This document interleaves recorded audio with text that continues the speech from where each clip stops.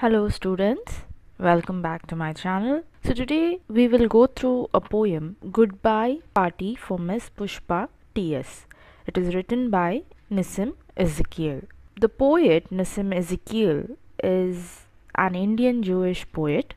He is an autonomous emblem in the literary foundation of India precisely when referring to English poetry. Ezekiel has been hailed for perceptive and well designed diction. He's been commended for his contemporary and obsolete ideas with an aroma of logical and pragmatic sensibility, endorsing the modern day dilemmas in a vogue way. He's given an exotic highway to Indian English literature with inoculating the conception of testimony in young Indian writers. So let's begin with a poem. Friends, our dear sister is departing for foreign in 2-3 days and we are meeting today to wish her bon voyage. The speaker addresses the colleagues and subordinates as friends in a party to bid goodbye to a subordinate. He tells them that their dear sister, Miss Pushpa, is leaving for a foreign country and they all wish her happy journey.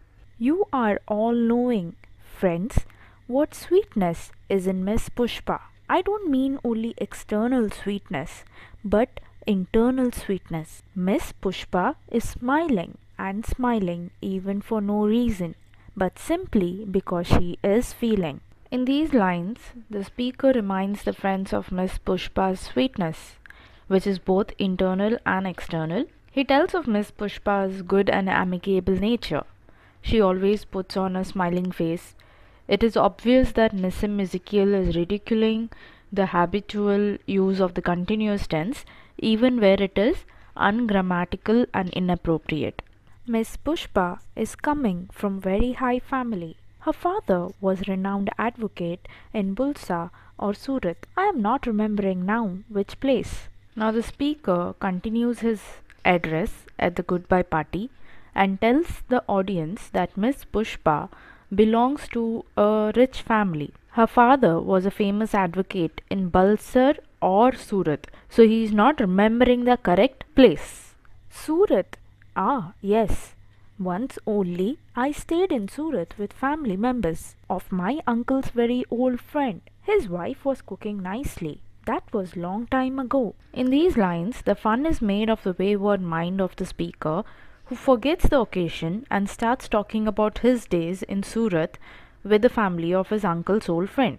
Now the speaker is informed by someone in audience that the place was Surat and he remembers and talks about his experience in Surat. The speaker's digression to Miss Pushpa's father and hanging on it, the speaker's connection to Surat and then to his or her uncle's very old friend and his wife there are typical of the unprepared, spontaneous speech characteristic of many Indians who lack propriety in such grave formal functions. Coming back to Miss Pushpa, she is most popular lady with men also and ladies also. Now after diversion from topic of his speech, the speaker goes back to Miss Pushpa. He says that she is very popular with both men and women.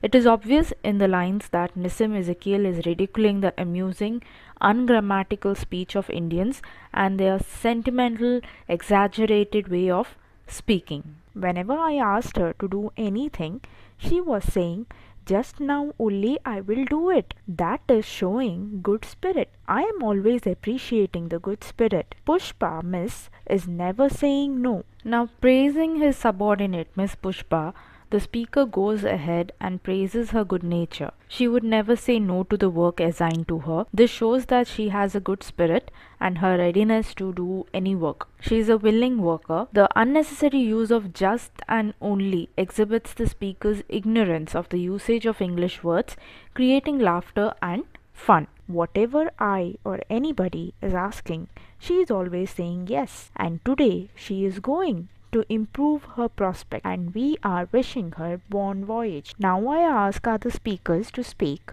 and afterwards Miss Pushpa will do summing up. In the concluding lines, the speaker says that she was always ready to help whenever asked by him or any other colleague.